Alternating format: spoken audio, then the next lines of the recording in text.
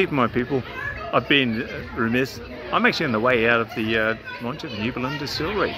I'm in Kensington, you're not. This has been a complete blast, and trust me, the accompanying photographs of this do not do justice to a great new event run by passionate, venturous, wonderful people that there will be an interview happening as well as a review of at least one of their gins.